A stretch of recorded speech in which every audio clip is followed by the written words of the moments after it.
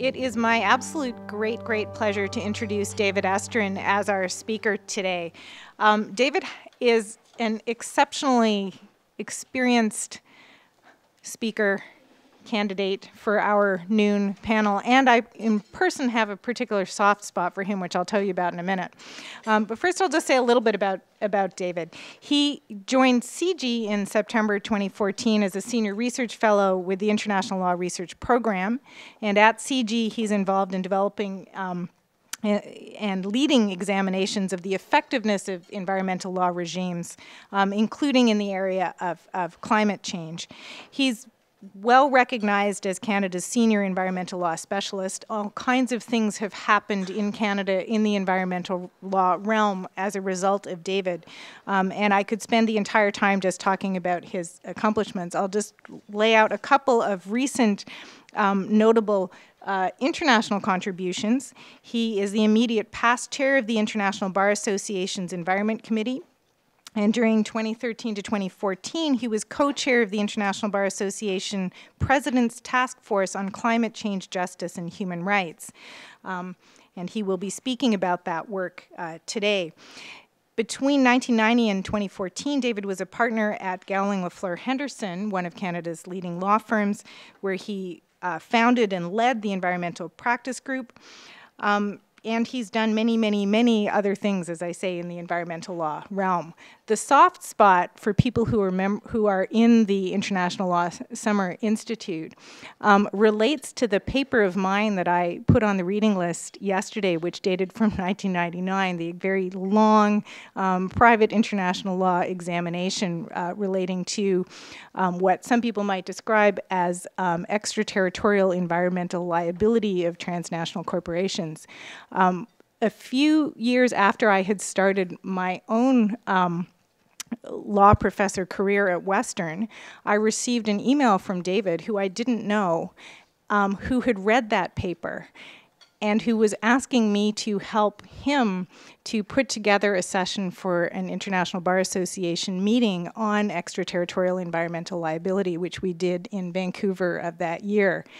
Um, as an academic, there is nothing so wonderful as being contacted by someone who's a real leader in the, in the field who's actually read your paper and finds it useful. Um, and so, with that note, I just want to uh, say a very, very warm welcome to David. Um, thank you for joining us today.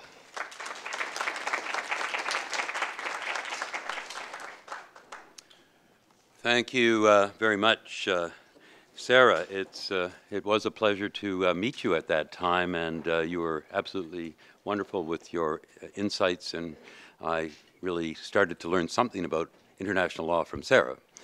Uh, and um, I'm glad to see that she's now going to be uh, helping us at CIGI in the International Law Research Program. It's an honor to have been asked to give this lecture and to assist my colleagues, such as Sarah and Neil Craig, Climate change hurts innocent people. It puts ordinary people who, for the most part, have not contributed, contributed in any way to global warming at extraordinary risk. As you've heard, I've practiced environmental law for a long time, over 40 years. But it wasn't until I took up my role as uh, co-chair of the uh, IBA Task Force on Climate Change Justice and Human Rights three years ago that I learned some fundamental facts why we, you, me, and all of us must urgently limit carbon emissions and do so in a way that achieves and respects climate justice. So here are five fundamental facts and principles I'm going to sort of uh, outline and, and, then talk about more detail that I, I learned as part of that experience. As I said at, at the outset, cli climate change is having devastating effects not just on polar bears and ecosystems, but on human life, communities, the very existence of countries and cultures, and indeed impacting global security. Secondly, there is a carbon reduction, carbon reduction imperative. Limits on new and current carbon emissions must be put in place. Third, there is a very limited time window in which we can act to stay within or even close to achieving the 2 degree C increase that we're, we've been advised by the, the experts we, we must try and achieve. Fourth thing is, in all of this activity to deal with climate change, we must take into account climate justice, both in mitigation measures as well as adaptation measures. And uh, that becomes important. Mitigation, by mitigation, I mean efforts to stop emissions. Adaptation, uh, by that I mean efforts to deal with things that are going to happen regardless of all the efforts we can make to stop it. Fifthly, we need to recognize that our current legal systems at international and national levels are, to say the least, unhelpful in terms of mitigating climate change or providing justice in adaptation measures. Reforms are required, and that was one of the major tasks that we undertook as part of the IBA report, and it report has about 50 measures recommended. I'll be telling you about some of these at the end of my presentation. Let me move then first to the first aspect, how and what, in what respect climate change is having drastic effects on communities and cultures. When it comes to uh, human suffering, the Intergovernmental Panel on Climate Change, the IPCC, doesn't mince its words. According to its latest report, climate change is on its way to, quote, causing severe, pervasive, and irreversible damage on the world's peoples, cultures, ecos ecosystems, and economies. You know, the risk is not just a matter of extreme weather events, even uh, you know, even tragic as they may, such as they may be, such as say the heat wave in Russia that took 55,000 lives in 2010, or uh, Typhoon Haiyan recording the fastest wind speeds on record. It's also the intensifying effect climate change has on intractable global problems such as war, famine, and economic migration. As some of you may well understand, repeated hot summers contributed to a spike in droughts in Syria, triggering hardship and riots that culminated in the vicious civil war now underway. And if you want to talk more about uh, global uh, insecurity caused by climate change, talk with Simon Dalby, who's with, with CIGI. On the most recent World Human Rights Day, December 10th, 2014, when some of, when some of us here perhaps were in Lima for the COP20, all of the human all of the UN human rights special mandate holders, these are the special rapporteurs on the right to food, for example, uh, or John Knox, the independent expert on the relationship between human rights and the environment, came together to issue a joint statement on climate change and human rights. And just let me quote it. It said, Climate change is one of the greatest challenges of our generation with consequences that transform life on Earth and adversely impact the livelihood of many people. It poses great risks and threats to the environment, human health, accessibility and inclusion, access to water, sanitation and food, security, and economic and social development. These impacts of climate change interfere with the effective enjoyment of human rights. In particular, climate change has a disproportionate effect on many disadvantaged, marginalized, excluded, and vulnerable individuals and groups including those whose way of life are inextricably linked to the environment. Pretty concise but powerful statement. Second thing I want to talk about, and I learned about the carbon reduction imperative. And we're going to start getting into the, the uh, visual and maybe audio stuff in a minute. Uh, there is this carbon reduction imperative. Limits on new and carbon uh, emissions must be put in place. Now, last year, the IPCC uh, said that if we are to stabilize warming at 2 degrees C, as the international communities agreed in 2009, we must achieve zero net emissions of greenhouse gases be before 20, 2011. Yeah, I can't read these things, but I think that's what it says. Um, and, and they predict that without additional mitigation, the planet will experience temperature increases 3.7 to 4.8 C above pre-industrialized levels. And the World Bank and the Potsdam Institute describe that kind of an increase as absolutely uh, devastating. If we don't act, make, get our governments to act, and, and it's all part of us to get governments to act, we're in for a scenario so horrific. Our children and our grandchildren will be asking each of us, where were we when you let this happen to us, to our beautiful planet and its oceans, glaciers, and animals, and vast numbers of people who are losing their homelands, disappearing, or becoming climate refugees? What are some of these devastating events and impacts? Let's see if I can make this. uh, As I said uh, further, there's no certainty that anybody can adapt to 4 degrees C. It's likely to be highly, highly disruptive. The, um, the IPCC said uh, um, it will result in things like inundation of coastal cities, increasing risk for food production, potentially leading to higher malnutrition, many dry regions becoming drier and wet regions wetter, unprecedented heat waves in many regions, especially in the tropics, substantially exacerbated water scarcity in many regions, hey, California, increased frequency of high-intensity tropical cyclones, and an irreversible loss of biodiversity. Yet these are only the predictable consequences of anthropogenic climate change. Even more alarmingly, a four degree C warmer world confronts us with risks and dangers that are new and unknown, and for which we are entirely unprepared. Large areas of the tropics would become essentially uninhabitable, for example.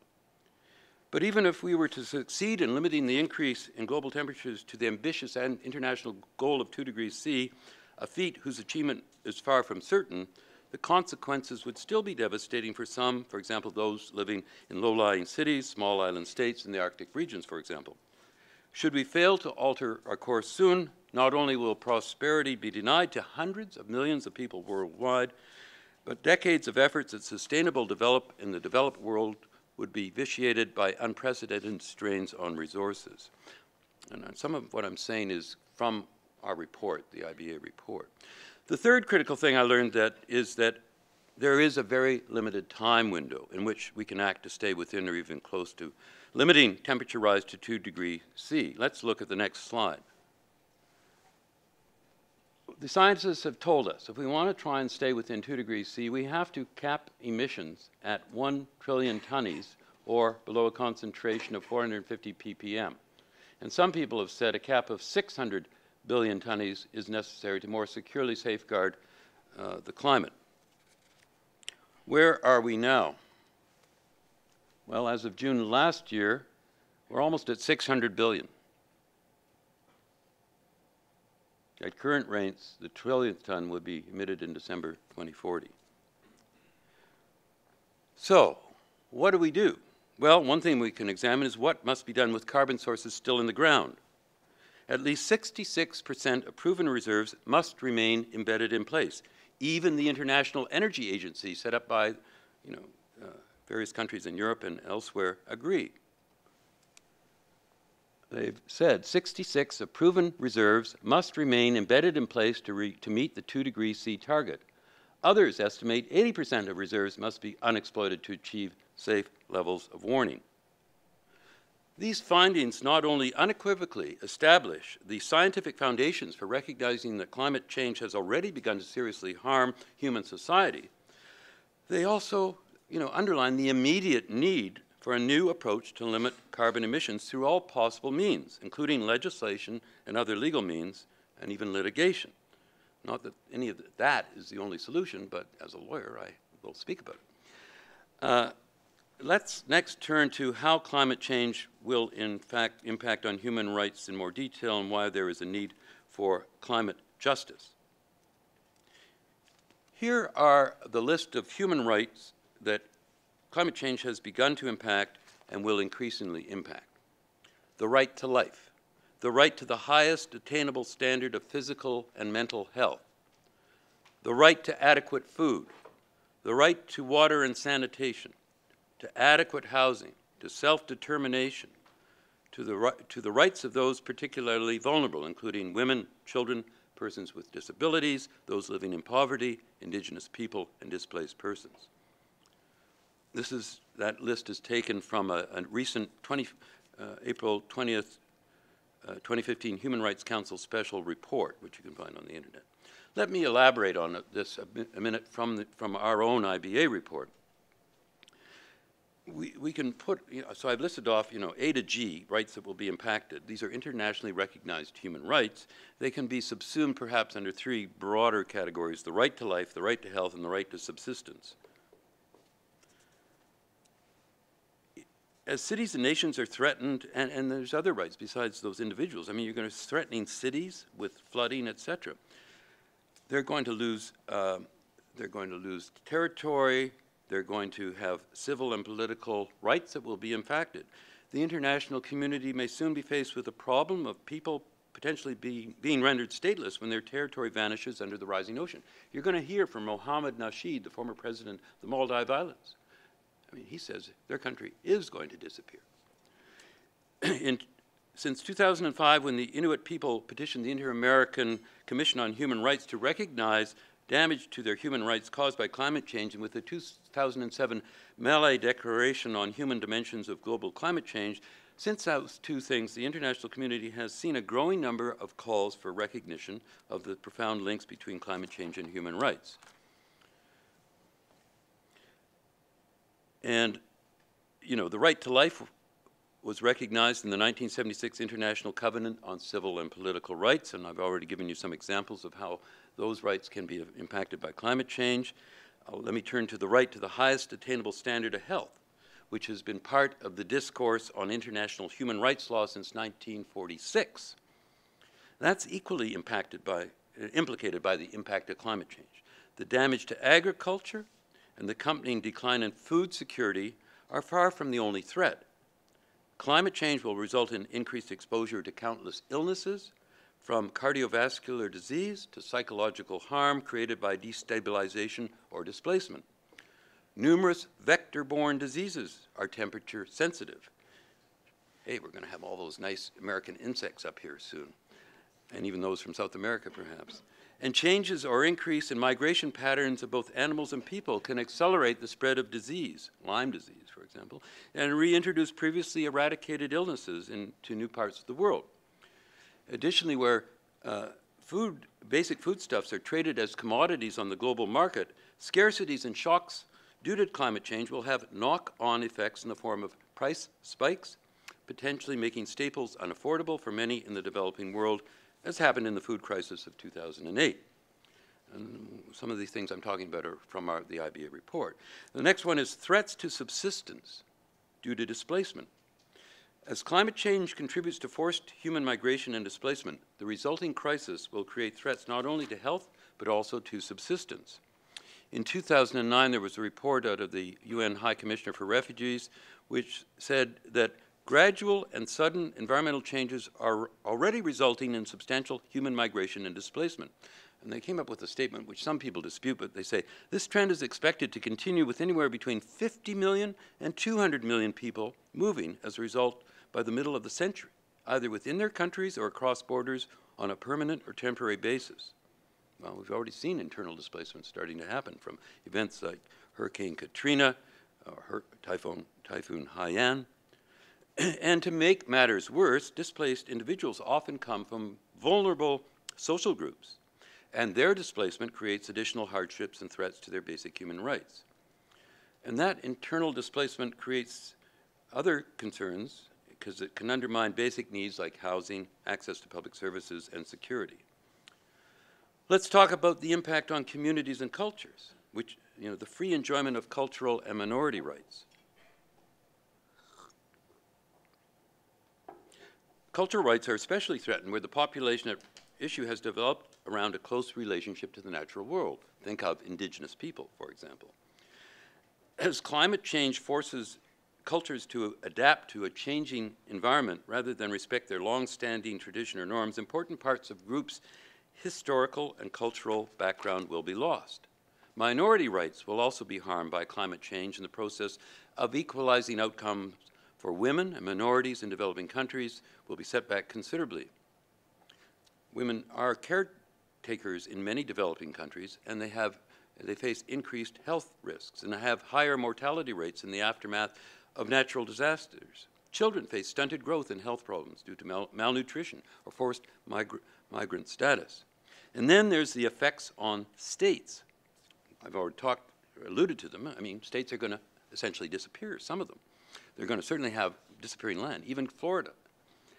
This poses unprecedented questions about the nature of citizenship and raises thorny issues to, as to how the world will respond to future forced displacement and migration.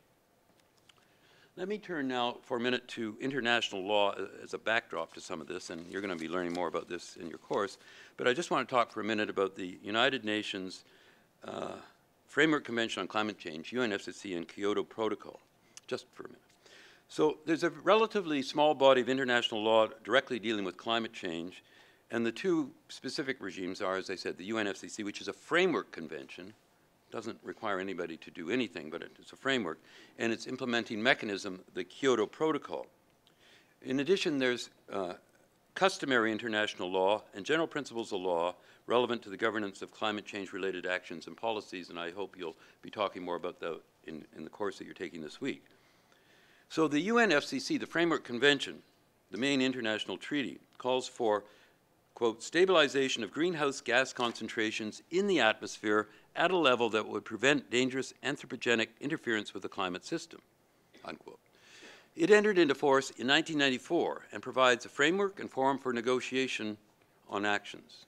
Well, that negotiation and meetings have been happening for 20 years, and we're into the 21st year, and I'm going tonight to uh, uh, a lead-up session that's getting ready for the 21st one in Paris. The one I'm going to is in Bonn. Well, there's a lot of talk, but in the meantime, over the last 20 years, unfortunately, greenhouse gas emissions have just continued to escalate.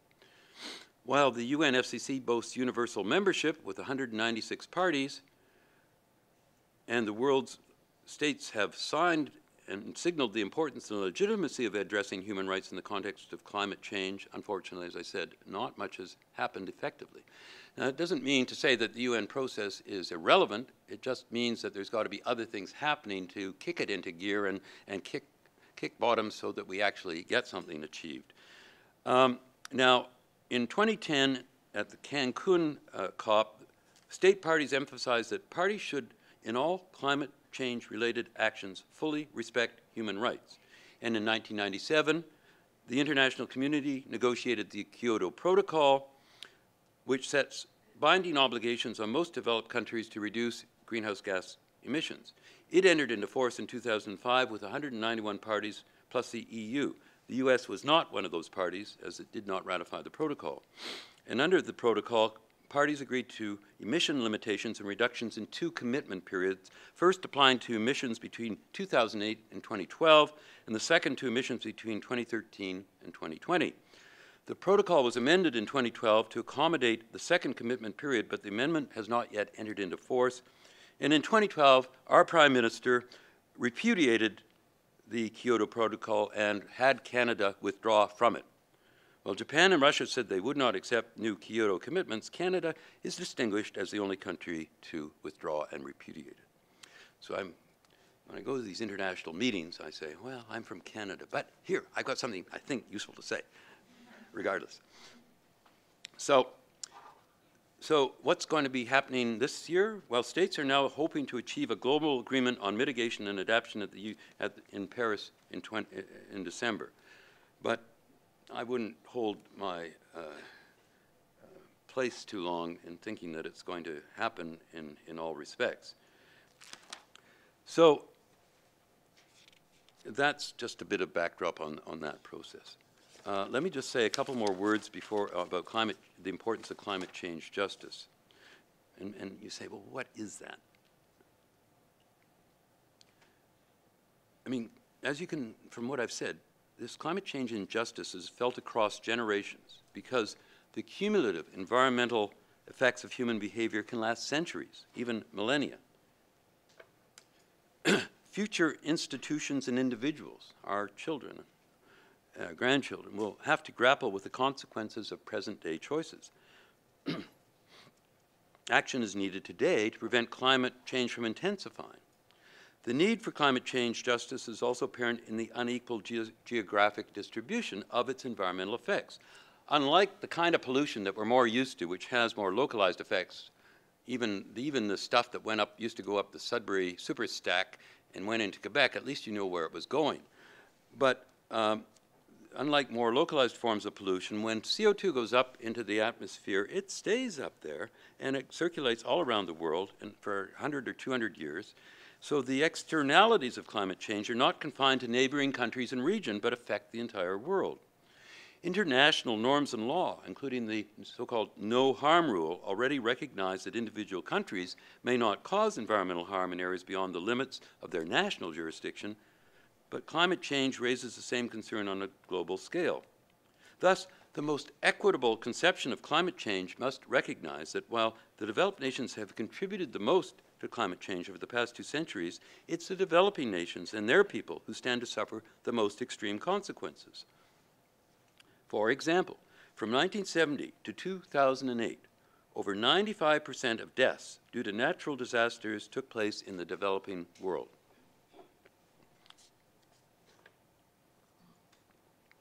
and quite simply, when they negotiated the UN uh, framework agreement, they recognized that rich nations are in a better position to do things, and so they had uh, concepts that, that I'll talk about in a minute poor countries simply don't have the abilities in many cases to do anything about these pernicious effects. So climate justice as a concept allows us to view climate change and efforts to combat it as having ethical implications and to consider how these should relate to wider justice concerns. Practically speaking, this means not just thinking of the political and moral issues, but rather thinking of how we can bring justice in, avo in, avoid, in avoiding the worsening of climate change by continuing to emit enormous quantities of greenhouse gases, how we can avoid hindering development of poorer nations in the methods that we find to reduce those emissions, and in adaptation methods. I was shocked when I went to Lima in December and heard directly from people from some South American countries who were having projects built by, under the Clean Development Mechanism, which is one of the things that comes under the UN Climate Change Agreement, uh, Framework Agreement, fund set up by the international community, and supposedly going to build uh, projects that would not emit uh, C, GHG uh, into the atmosphere as much, dams, for example. Well, when they go to build dams, they could, if they're not thinking about it carefully and, and, and sensitively, they could actually end up flooding out whole communities of indigenous people. And then there are potential conflicts and the people protest and their local governments say, go away. If, if, and, and, and then and so then there's protests and what happens? The, these companies often use pe people in the communities uh, or other people and they get and the people who protest get killed I mean, human rights in South America impacted by climate change are a hell of a lot different than anything we can think of being impacted by human rights in Canada or the United States. People, literally on the way to the COP conference in Lima, were, were killed and dismembered. Not just from dams, from mining projects, things like that, all of which had some of this financing. In the past few decades, these justice and equity concerns have found expression in international agreements to some extent. For example, in 1992, the Rio Earth Summit embraced the precautionary principle. And with respect to equity obligations, the, even the Framework Convention endorsed a principle of common but differentiated responsibilities, where the, whereby obligations are supposedly taken on by the developed countries uh, and leaving uh, the developing countries not to necessarily have the same commitments. That's going to be changed by the Paris Agreement. And then there's this no harm rule which is mentioned in the UNFCCC, it notes that states have, in accordance with the Charter of the United Nations and the principle of international law, the responsibility to ensure that activities within their jurisdiction and control do not cause damage to the environment of other states or of areas beyond the limits of national jurisdiction. However, these justice principles, while incorporated into, into the international system nominally, are not dominant as guiding principles and in climate change policymaking, nor have they been particularly effective. So, for example, in, in last year, the International Law Association put out draft articles on climate change in which they recognized some of these issues and they articulated things that should be done. I don't think I'll have time to, I'll just refer to them. One of them, for example. Uh, draft Article 4 on equity would establish that states shall protect the climate system in a manner that equitably balances the needs of present and future generations of mankind, recognizing both present and future generations. International, in, intergenerational equity is an important element of climate change justice, and that was recognized by Ban Ki-moon in his report on last year. Climate justice by necessity incorporates intergenerational equity for reasons that you can anticipate. We're talking about the rights of the unborn. So taking all of these things into account, our task force um, came up with a uh, context of looking at what could be done in the context of human rights. We thought, for our purposes, that it would be appropriate to say that um, what we are striving to achieve is to ensure communities, individuals, and governments have substantive legal and procedural rights to the enjoyment of a safe, clean, healthy, and sustainable environment, and the means to take or cause measures to be taken at regional and international levels to mitigate sources of climate change and provide for adaptation in a manner that respects human rights. I'm just going to refer to one other uh, development that's happened in the last, in March. There's something called the Oslo Principles. And um, March the 1st, a group of experts in international law, human rights, environmental law, and others adopted these principles on global obligations to reduce climate change. These experts came from uh, universities, national and international courts, and organizations around the world, and they identified obligations of states and enterprises to take specific forms of action, including to limit temperature increases. I'll just outline a few of them very briefly. They said it's, it's necessary for states to reduce greenhouse gas emissions, refrain from starting new activities that cause excessive GHG emissions, bring about lawful and, and appropriate trade consequences for states failing to comply with the obligations, refrain from providing new subsidies, aid, etc., for the installation of major new facilities that will have GHG emissions, etc. And they said that neither the high cost nor the lack of financial means can alone excuse a state's failure to meet its obligations to achieve reductions or constitute a defense against legal sanctions that may be imposed as a consequence of such a failure. A couple of people signing on to that were uh, Antonio Benjamin from the High Court of Brazil, Michael Gerrard, who's the director of the Climate Change Center at the Sabin Center in, at Columbia University, some other judges as well. And they also identified a number of procedural principles that I don't have time to get into. So how did I get into all of this? And this is my immediate prelude to a little bit of, of seeing uh, uh, some, some uh, an interesting eight-minute film clip. I got into this because Mary Robinson, who is now Ban Ki-moon's climate on, special climate change envoy, and who was then and former president, also former president of Ireland, former UN High Commissioner for Human Rights, and also has her own Human Rights Foundation dealing with climate change. She, in 2013 in Dublin, challenged the IBA, which was meeting in Dublin, which is the IBA being the world's largest organization of international lawyers, judges, and law societies, to take up the challenge of identifying what laws, institutions, and related world organizations, such as the UN or the WTO, could do to help those who would be most affected she said climate change justice means sharing responsibility. Those most responsible must take the lead and show greatest ambition in their domestic climate actions and support for, for vulnerable communities. Well, the IBA took up the challenge. I was asked uh, by the President to uh, lead a task force together with my other co-chair was Baroness Helena Kennedy, QC, a leading British barrister, a member of the House of Lords, a very uh, uh well-known advocate for human rights, uh, she's also the co-chair of the International Bar Association Human Rights Institute.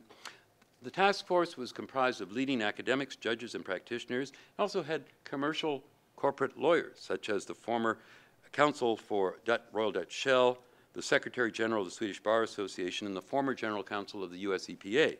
So it wasn't just a bunch of greenies on this thing. And the IBA is certainly not a, a green organization. You can imagine uh, traipsing off to different places around the world for very expensive meetings, uh, you have to have some uh, clients.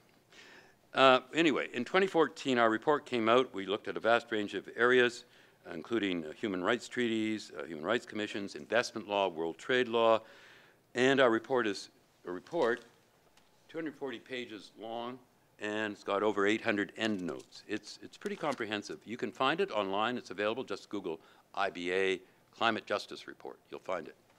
Anyway, in each case, we found that these legal systems provided weak or non-existent capacities to effectively mitigate climate change or provide justice to those affected. And, but as I said, we didn't just leave it at problems. We identified a whole bunch of solutions. I won't have time to really talk about them in any detail. At the front of the report, in Chapter 1, there is an, a, a, the executive summary is very good, and at the end of the executive summary, there's an action matrix which lists a whole bunch of measures, over 50 that we identified that could be taken by various states, by international bodies, etc. Before I go further, let me show you then a brief clip the, from, from the IBA Tokyo meeting where this report was presented, you're going to see some strong remarks about actions requir required from world leaders, including Al Gore, Mary Robinson, former Maldives Island President Mohamed Nasheed, and Felipe Calderon, the former president of Mexico. And if you could come up and give me a hand at this point, that would be terrific.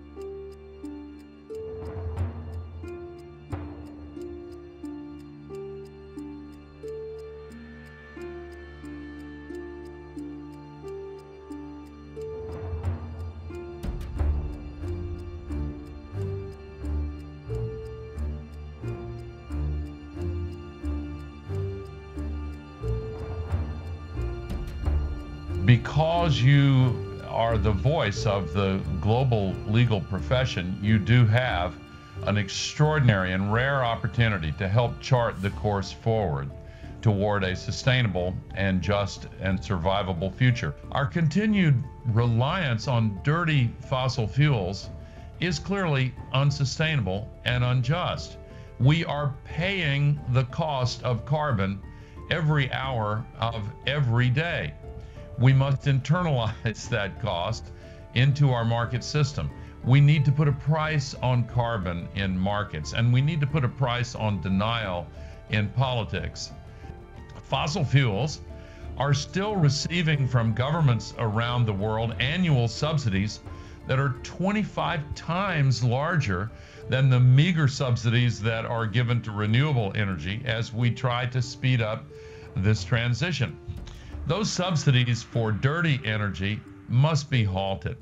The way forward uh, is toward clean, sustainable, renewable energy that's already available and is spreading rapidly. As a lawyer myself, I have felt for quite some time that the legal profession worldwide has been behind the curve on the negative impacts of climate change. It already poses huge challenges to human rights, to food and health in vulnerable countries, and we face the prospect of millions of climate displaced people who are not recognised as refugees and for whom there is as yet no international convention. The significance of this report lies firstly in its assessment that current law is inadequate to meet the challenges of climate change. As a result, the legal profession has a critical role to play in strengthening and creating the laws, norms, regulations and policies needed to ensure an effective and equitable response to, cl to climate change. We cannot solve the climate crisis without you, the lawyers of the world. The report is also significant for its legal treatment of the impacts of climate change on human rights and the proposal of practical ways of using and strengthening legal frameworks and human rights law to ensure climate justice. What this report shows is that climate change is an issue of justice with repercussions for all aspects of law, from corporate law to litigation, human rights law to trade law. Whether you work to protect the interests of business, citizens, or states, climate change is part of your portfolio.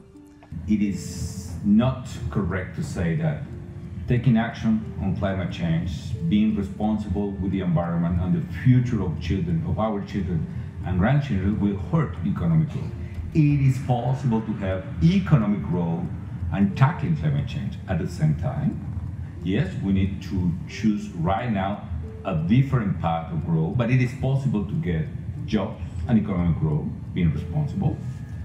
If we are going to invest, we are estimating 90 trillion dollars in 15 years, either in urban development, energy, or land uses.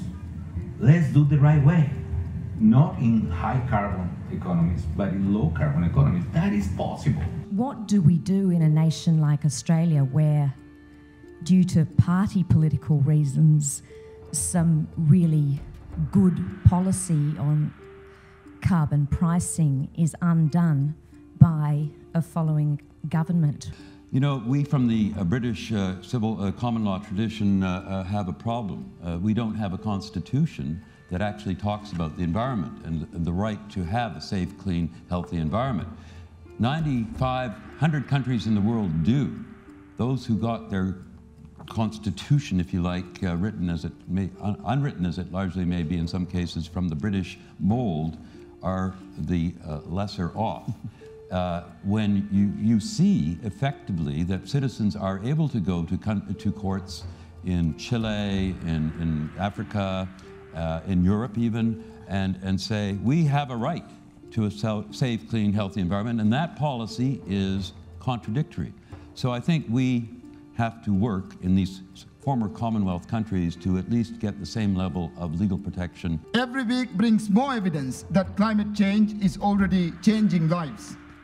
The drumbeat is growing stronger, but so is the granting sound of dissent from mouthpieces of polluting economy. The legal profession will play a key role in driving climate policy. By drawing attention to specific con consequences of inaction, you can make the real implication of climate change a little more real. The law is, as, as you know, a living thing. Its evolution reflects the forces changing society. From human rights to equal opportunity, but the legal fraternity itself can also shape these forces. The inundation of the Maldives is just a generation away. When I was elected president, I caused some controversy by saying we would someday have to leave our islands. I was hopeful then that we would be able to change the way our story ends. But I fear it's too late for the Maldives. If current trends continue, Maldives will be among the first climate refugees. We will face issues of citizenship, sovereignty, and repatriation. If our nation sinks, we will be forced to answer questions more familiar to Palestinians, Rohingyas, and the Kurds. I fear that these questions will be answered one day, not in the abstract, but in a court of law. And I fear that we, the people of the Maldives, will be, will be the star witness.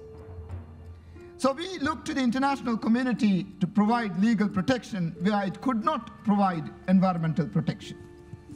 Ladies and gentlemen, it may be too late to save homelands in Kiribati, Tuvalu, or the Maldives.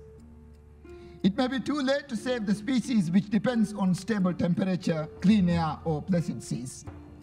But it is not too late to change our ways. It is very much a plan, and indeed a first priority of uh, my upcoming presidency of the IBA for the two years of 2015 and 2016 uh, to continue the work of this task force. Uh, most importantly, there are many recommendations uh, aimed at the United Nations uh, and asking the United Nations to take various steps. Uh, and we look forward to working with President Robinson on those recommendations and finding the best way uh, to uh, work with UN uh, members and to uh, uh, ensure to do what we can that the UN will take these recommendations seriously and follow up. we look forward to the assistance of all of you. I, I, I can promise you that the IBA will be the global voice of the legal profession on this issue. Thank you.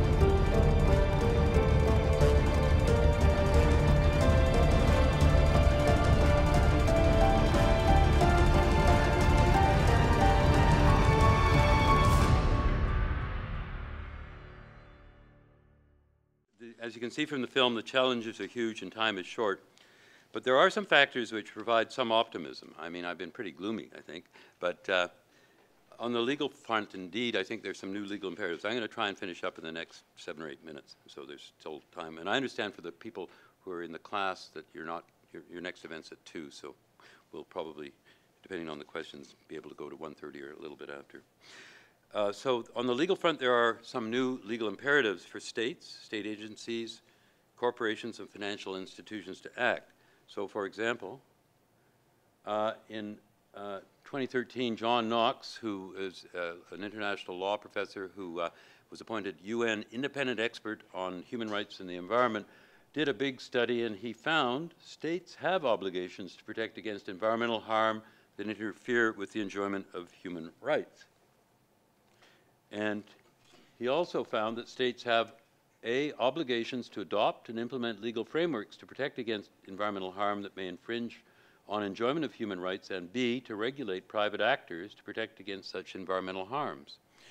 Now you say, well, okay, that's nice, but how does this get operationalized? Well, that's a very good question. Uh, and um, when you start thinking about it from a legal perspective at a national level, uh, i- i- it would be very difficult in Canada because we don't have any constitutional rights to be protected from a- nasty environment or, or other things like that. But we do have a right to life in our Constitution. It's in Section 7. And um, as I'm going to explain to you a little bit later, some courts have said right to life should include freedom from serious environmental consequences. And uh, so statements like this, findings like this, could help if someone in the future were to think about a court case in Canada as to why Canada's non-action on climate change or limited action on climate change is, is in fact uh, violating these kinds of principles. Um, well, we also had before John Knox's report, as some of you know, uh, the 2011 UN Guiding Principles on Business and Human Rights, the Ruggie Principles. And uh, many of you are familiar with these about business enterprises should respect human rights. This means they should avoid infringing on human rights. And, and also, they have responsibilities to avoid causing or contributing to these impacts through their own activities and seek to prevent these through their operations, products, or services by the business by business relationships, even if they haven't contributed. And there's many other principles. So, um, it seems to me with Knox's report, which followed Ruggie, I think we have Ruggie Plus, a basis for voluntary and, if necessary, state-imposed carbon budget requirements. This will or should drive political action as well as business and financial investment decisions and corporate conduct. And we can see that this is starting to happen at, an, at some, in the, in the higher levels of many corporations and, and international financial institutions. But there is clearly increasing necessity for corporations, investors, and lenders to limit and decrease their carbon footprint. Why? Well, because other trains are coming down the track for them. Carbon reframed as a toxic substance. If you have a need for a carbon limit, which is undisputed, if there's a human right to a healthy environment, then we've got to do something about carbon. And if we don't, carbon is going to be regarded as a toxic substance. And carbon reserves may be regarded, therefore, need to be seen to be remain embedded in place except under conditions assuring that there's no new greenhouse gas emissions during extraction or use and or limited exemptions for communities that need some access to, to this type of resource, that, the justice perspective. Why would this happen? Well, it will happen, I think, unless the oil and coal industries react more helpfully and differently than the tobacco industry did when tobacco was revealed to be a major health threat. On the left, ads. More doctors smoke camels than any other cigarette. Most of you are too young to have seen that kind of an ad. But that's what they used to advertise. And they had doctors supposedly willing to pose in those advertisements. Well, 40 years later, we're not exactly in the same place. And even we started running the ads on the right 40 years ago in Canada. Will carbon extractors and producers recognize that they should help pay for some portion of the public cost to respond to the impacts of past emissions? For example, will they respond to the fact that their previous emissions are helping to require municipalities to spend money that they never anticipated to replace sewers that are now too small, roads that are being flooded? Um, will they contribute to the public expense of shifting to renewable energy? If they do so voluntarily and with a sense of responsibility, that's one good thing. If they do not, they will likely be forced to do so by changing public opinion. So instead of ad advertising the gasoline is the best thing your car ever had, you're going to get stickers on gas pumps saying use of this fuel product contributes to climate change, which may put up to 30% of species at a likely risk of extinction. This is a campaign that's now going on in Canada, whereby municipalities can pass bylaws requiring these labels on, on gas pumps. So can a simple sticker help us to act on climate change? Possibly they can. And you know what? People are really changing their attitudes. This is a this is yes, uh, two days ago. Portland propane gas plant halted by environmental protests. A story out of the big story in the business section of the Globe and Mail, and the headline read, or the subheading read, "The project's most vocal opponents base their opposition not only on the perceived faults of the project itself, but primarily as part of an overarching stance against the very concept of building more fossil fuel infrastructure." And despite it being a big company, Pembina, uh, Pembina uh, and, and being welcomed initially in the community, they were told to get out of town, and basically they, they accepted the message. Example of tobacco companies being sued by virtually all U.S. states to repay public health care costs for smokers and to help people quit smoking is a precedent for how and why carbon is more likely going to become to regarded as a toxic substance. There was a statement in the 2013 uh, Global Risks of the World Economic Forum, the Davos Forum, who recognized, quote, five decades ago, the U.S. tobacco industry would not have suspected that in 1997 it would agree to pay $368 billion in health-related damages. And two days ago, a Quebec court awarded 15 billion in damages to a class of smokers in Quebec who so, and then we have carbon divestiture campaigns at universities and by uh, and uh, some investment funds. They're also indicative of this train coming down the track. There's also substantive discussions and investigations as to whether carbon reserves should be regarded as stranded assets. The Bank of England, for example, has got such an inquiry underway. And and and as to whether or not, for example, the the so-called uh, plus side of the balance sheet of Shell and BP are really uh, pluses, or maybe should be regarded uh, as minus. And then there's other things happening. Carbon majors will be targeted. What am I talking about? Well, there was a study that came out about three years ago by uh, Heede and others, which tracked 63% of CO2 and methane emitted between seven, the year 1751 and 2010 to just 90 emitters, states and their corporate permittees. There was a recent meeting in Toronto where possible class action for, on, by municipalities to recover their increased infrastructure costs uh, with the carbon majors being potential defendants was being talked about. And, um, and they were, and the, really the thought was, we'll invite you to help us out, and if you don't want to do so voluntarily, we might just help you do it involuntarily through a statement of claim. So, I mean, litigation can be a, a spur to these things, and I want to talk about that by, in, in sort of concluding. Uh, in some countries, as you've heard, there are constitutional rights being asserted by citizens. In some countries, legal reforms are being examined. I mean, 92% of countries recognize the right to a healthy environment, and about 95 countries around the world have such a right. When I was in Lima, there was a special session of the uh, Lima Constitutional Court where they had judges not only from Peru but from Brazil and a few other countries, and they were talking about biodiversity in the face of climate change. And it was amazing. Here it was in the highest court in this country, and they were having a session about how we can't wait for the United Nations process. It's taken 20 years, and we're not convinced it's going to do very, anything very soon, very effectively. Court is one way to try and help out. They see litigation as the necessary path forward. Well, the IBA, as a follow-up to last year's report, is going to be um, working on legal reforms. Um, one of the things I'm going to be doing is heading up a, a, a, working group or coordinating a working group on drafting a climate change remedy statute, working with some senior judges and, and lawyers from around the world. So let me talk for a minute about Canada's constitution. As I mentioned, we don't have anything specifically in our, in our environment, in our, in, in our Constitution about the environment, but we do have in Section 7 the right to life and the right to security of the person and the right not to be deprived thereof except in accordance with the principles of fundamental justice. Well, there is a case going forward in the Ontario courts about people in Sarnia living beside a, a petrochemical complex. Uh, these are First Nations community who are perceived to have much different negative health outcomes than others. The Supreme Court of India has found that there is a right to healthful environment within the notion of a right to life. And the Supreme Court of India has used this to tighten vehicle emission standards in order to a municipality to replace its diesel fleet with a uh, CNG fleet. And they've also taken other steps. So with all of these, you know, possibilities of, of uh, our, uh, one of the things our task force, our working group is going to do is look at ways in which barriers to successful uh, litigation can be eliminated.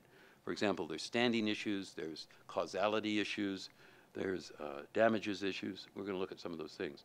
So if you put all those things together, the important new international reports heightened corporate social responsibility, the need to achieve a global carbon cap, constitutionalization of environmental rights, concerned public activism, all of these things I think are helping to drive stuff forward. And um, I think, um, and I'm going to spend two more minutes just to finish up then on what did the, what have we actually recommended beyond that which I've said. Um, this is the cover of the report. So um, let me, um, for, I'm just going to highlight five different things very quickly. One of the things we, types of things we recommended is facilitate actions in the court, which some people regard as the third branch of government. I mentioned the Indian example. And uh, we're going to, as I say, do that. Um, that could be, once this model uh, statute comes out, it could be used by nations, by sub, subnationals, and it could be used at an international level as well. Uh, second thing we, rec we recommended was reinforce human rights.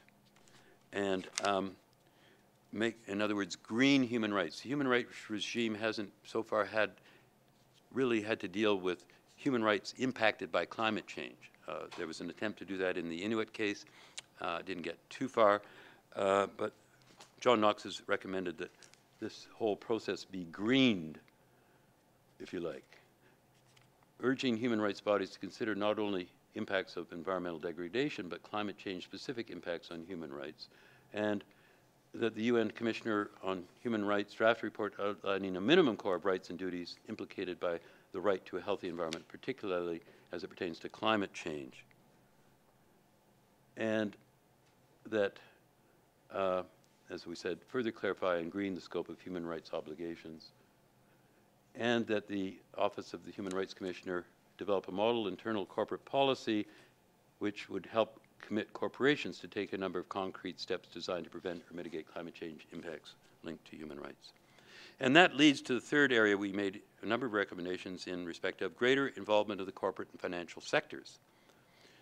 Um, and uh, so we, you know, just so we think that uh, uh, we recommended that the UN framework on corporate responsibility, the Ruggie principles, should be uh, enlarged to specifically recognize that the actions that corporations can, can implement to assist in achieving a 2 degree C objective to, that companies should be required to think about, if not use, the most advanced available technology. And where negative impact on the environment is unavoidable, take steps to implement corresponding mitigation and remediation. And there's a number of other things. Um, we also recommend uh, things, made recommendations to states. Um, clarification of human rights obligations related to climate change. Look at our model statute on remedies when it comes out. Um, states should recognize that they have these substantive obligations, as John Knox pointed out, to adopt legal and institutional frameworks. And uh, we encourage states and international organizations in consultation with corporations to develop and subsequently adopt clear and implementable objective standards for corporate reporting in respect of human rights issues pertaining to the environment. And etc. So then we also looked at the World Trade Organization and getting the trade system right. And obviously, if any of you looked at that, there's a whole number of things that can be done there. We have some very specific recommendations. So let me conclude. Um, all of us are, as citizens, are aware.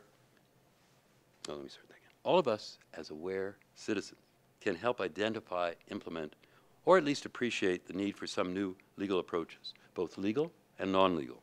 Legal, well, we could try and do something in respect of getting past emitters who are still around to help contribute to uh, rectifying some of the damage.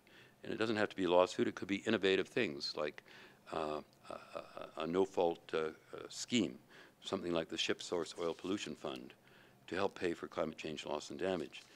Or it could be not through law, but using our and I say our, high level of awareness, we can help our family and friends in carbon-based industries and even at political levels to appreciate that there is a need to change and that uh, we have to make them understand why there's a need to change rapidly into uh, alternative forms of energy and energy delivery systems. As Mary Robinson said in a recent article, uh, The backing for climate justice is pivotal from the IBA, but we cannot leave climate justice to the lawyers. Climate justice is about all of us. It's about acknowledging our personal responsibility in an interconnected world. It's about acting outside the narrow confines of self-interest, even as it becomes clear that our self-interest can destroy the lives of our own children and grandchildren. She said, the IBA report is not the last word on climate justice, but it's an important and credible voice. It's a clarion call and a sign that the word is spreading. The only solutions to climate change are fair solutions that protect human rights and uphold the rule of law. I hope you'll all contribute to that, and thank you for listening, and I'll be able to available for questions.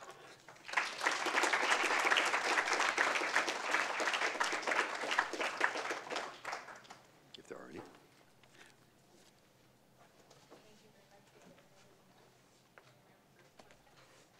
Okay.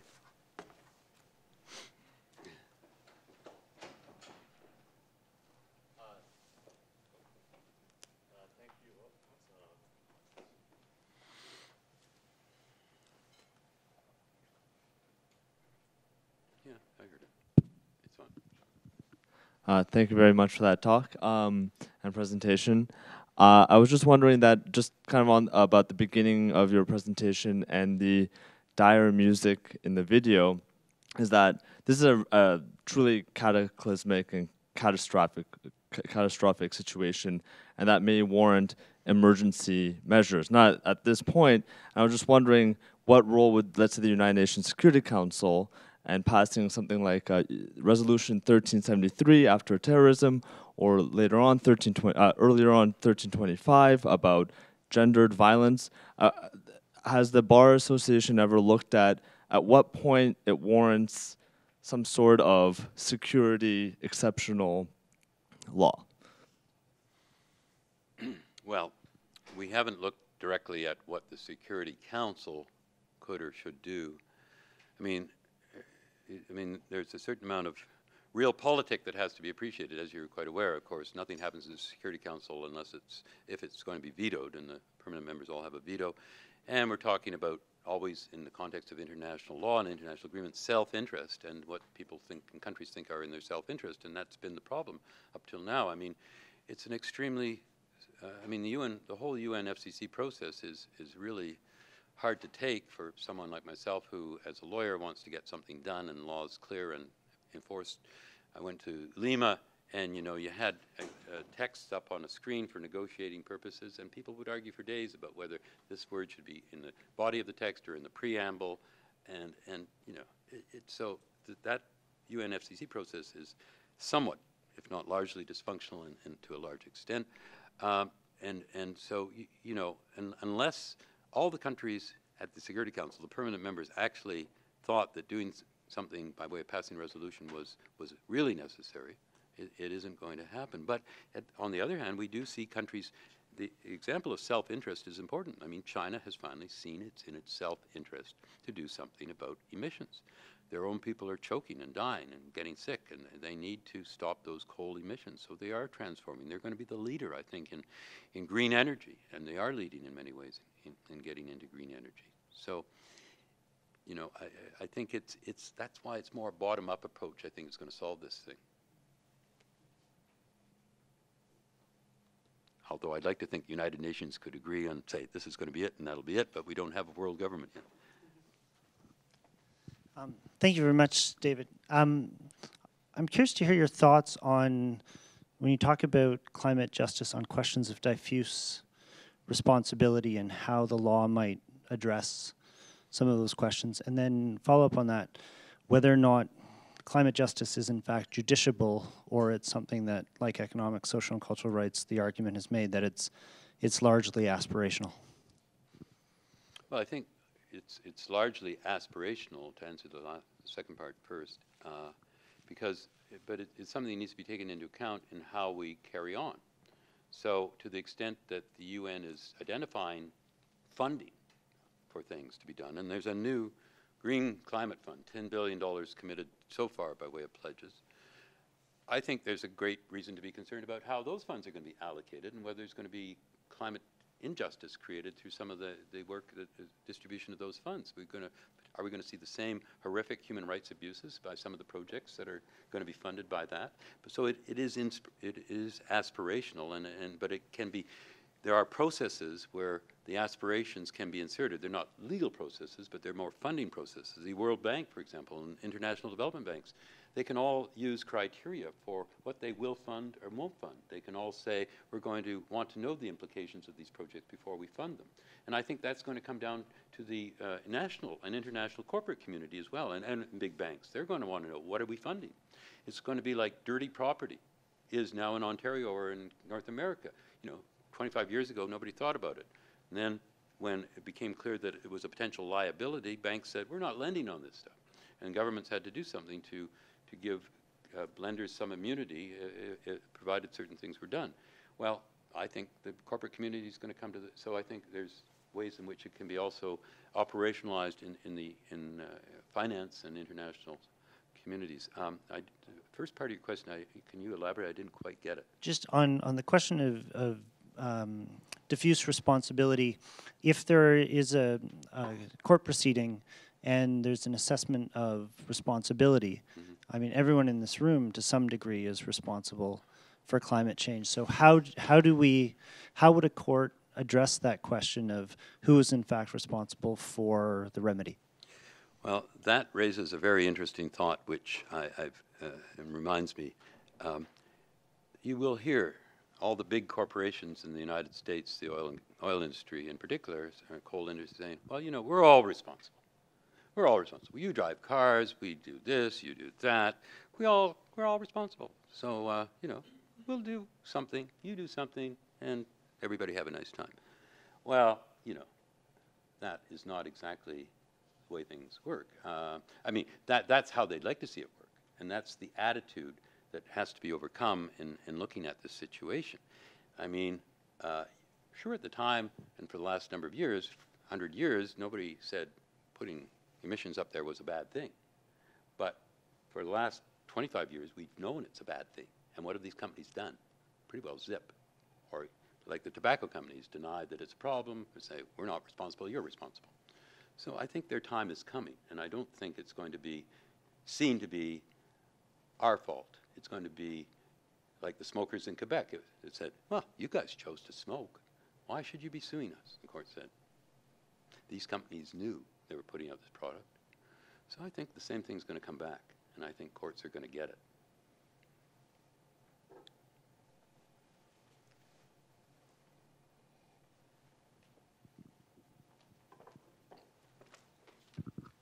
Uh, thanks, David, uh, for a wonderful presentation. Uh, I have two questions. Uh, like, number one is, um, Canadian government withdrawn the um, Kyoto Protocol for avoiding 14 billion dollars carbon credit, like thing, uh, like as um, environment minister told that after returning from the UN climate change um, summit. So uh, my question is, uh, what uh, responsi uh, what responsibilities Canadian government took after, uh, like during these three years after like 2012, and is there any um, uh, future plan for taking the responsibilities for carbon emission? And another question is, the second question is, what IBA uh, whether IBA pressurized Canadian government to take responsibilities.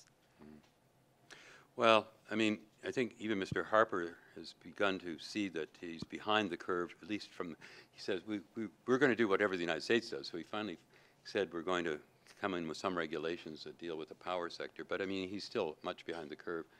I mean, I think, you know, if you can get an NDP government, I'm from Alberta, I was born and educated in Alberta. If you can get an NDP government elected in Alberta, uh, anything can happen. Uh, so I suspect that, uh, you know, and, and, and the oil industry in, in Calgary was packing the Palliser Hotel yesterday the day before saying, we want carbon pricing. They've been saying this behind the scenes for the last few years. They, they don't agree with Harper on this. But they were afraid to speak publicly. Now, at least they're, they're able to come out with the NDP government coming in and they know that there's something going to happen. They can say, we want this, and it's going to happen, and it's happening in Ontario. So there's going to be moves, and and the, the subnationals, like the provinces are and the states, are getting active. And uh, you know about California, you know about Quebec, and Ontario's joining in, and there's going to be a big climate summit of the Americas this summer. CIGI's helping to uh, get involved in, and and and it's basically saying, you know, if the federal government in, in Canada and the United States are paralyzed from acting, we, the subnationals, can do something. In fact, we, the subnationals, have the jurisdiction so that can happen, and we don't need to worry it's too much about the federal government. It would be nice to have them come along. And your second question about the IBA, well, I, I, I don't think the IBA is going to target any particular level of government. I mean, in national government. But we can still use the recommendations of the IBA, report on, on the federal government say, you guys should be doing more. Thank you.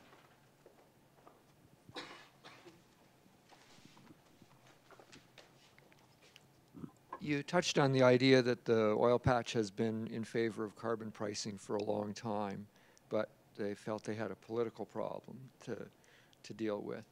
Um, and I'm wondering, there, there's always been trouble sorting out, well, where did that come from? And would you attribute any of that to the concerns about kind of uh, better to have a tax and then we don't have to worry so much about the the tort law from the kind of carbon majors approach. Do you think there's any, you, do you know what I mean? Because Yeah. now tell me the story. Why would the oil patch, and, and they've been, again, some of the research I'm involved with makes it clear that $50 a ton does not, they don't like it, but it does not scare them. But still, $50 a ton is lot more than $25 a ton. Why are they kind of interested in a, a carbon tax? is there is there a legal aspect that makes you say, well, I think I understand why they might prefer prefer the tax approach? Well, Randy, I mean, we can only surmise un- unless we talk to these people, but um, I think it's part of the, they see the train coming down the track. And as you said, I think as you said, uh, you know, uh, better to be seen to be actually in favor of doing something than being the target in a subsequent carbon majors lawsuit, something like that. And because by God, they're going to be at some point. There's going to be a lawsuit, I think, uh, at some point. Whether it succeeds is a whole other thing, but not just the people, the 63 entities, 66 entities around the world, but, you know, I mean, the Canadian contributions are somewhat minor in the scheme of things, but still, they are an identifiable uh, emitters, and, and some, and so, yeah, I think, I think they get it, and they also get it, I think, simply from a moral perspective and the ethical perspective, that they, they want to be seen as part of the solution, although obviously they need to be doing a hell of a lot more. Like BP and, and, and as you know, in Shell 10, eight or nine years ago, where particularly BP had a big program to transform a lot of its stuff into green energy. And then after uh, something, something happened, and they're no longer on that page, but they, they need to be. Yeah. Another microphone.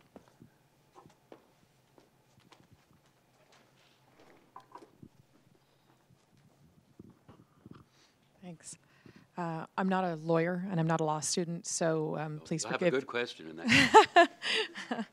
I'm wondering about um, a couple of different aspects about um, your talk. Uh, the UNFCCC, um, any any sort of agreement that they would come up with that would be seen as binding. I guess I'm I'm wondering about the question of enforcement, and also when you talk about uh, a carbon budget that would eventually be agreed upon. You talked about the four different components that are leading towards this idea of of a, an international carbon cap.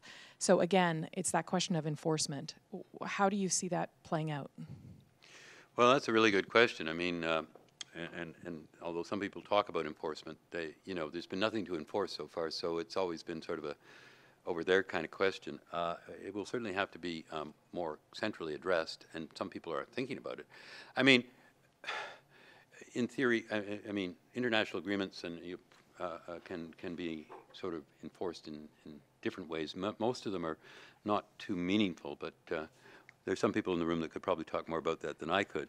Uh, but but uh, you know, if, if can they be enforced in, in say the International Court of Justice? Well, uh, possibly. Uh, but but even even even but the the agreement would have to specifically say You know, one party can take another to court, to the International Court of Justice, and, and if they sign on to this, uh, to this treaty or, or um, agreement, then in theory they've agreed to that jurisdiction. Nothing, nothing stops them from sort of withdrawing subsequently if they want to. So at an international level, you know, uh, it's, it's, there, it's very, um, uh, and I shouldn't step into international law enforcement too much here because we have some people really know more about this than I do, but, but i I think it's quite difficult. We, and one of the things we do in our report is look at that and say, you know, there's better places to enforce, if you really want to enforce, than the International uh, Court of Justice. You can have uh, some, like the Permanent Court of Arbitration has special rules about, about environmental matters. You could have a panel, or you could have an independent court for the environment. One of our recommendations is that there should be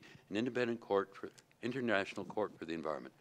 And again, this would take political buy-in at an at a, at a international level.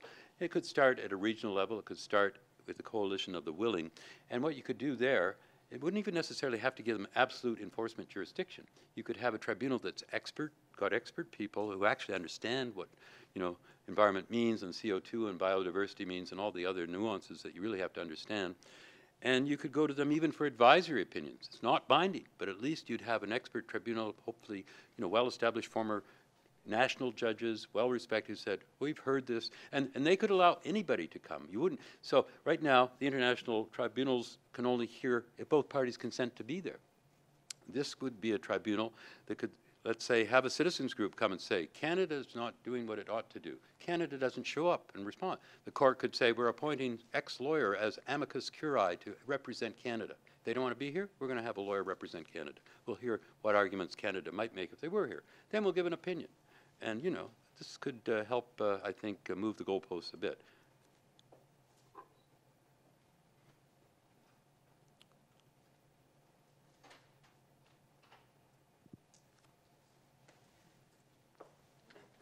I'm glad you, I'm glad you gave me the opportunity to think about the International Court. Thank you, David. I just want to, again, on a personal level, say a warm thank you to you for um, agreeing to do this and also um, agreeing to do this at this time because I know you have to catch a flight to Bonn later today. Sorry about that. but thank you so much. It was my pleasure.